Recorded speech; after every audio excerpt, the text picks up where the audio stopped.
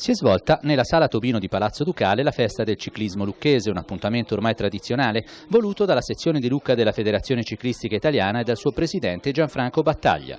Nel corso della cerimonia sono stati premiati gli atleti, i dirigenti le società che si sono distinti nel corso del 2013. L'elenco è molto lungo tra campioni provinciali, regionali, ma anche per meriti sportivi, tanto che rischieremmo di dimenticarci qualcuno.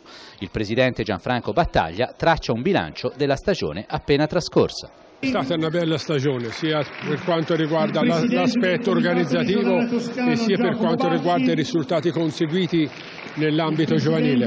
Veramente dobbiamo essere soddisfatti e sì, lo vedi anche qui nella platea che c'è tutto pieno e, insomma veramente il ciclismo lucchese ha onorato la, la regione toscana.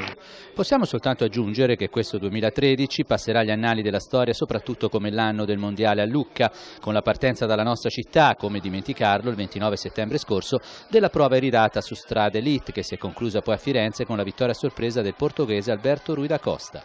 Ora non resta che pensare al 2014 sperando sperando che il pedale nostrano sappia risalire la china, visto che i numeri delle società e degli atleti in attività in questo momento non sono affatto esaltanti.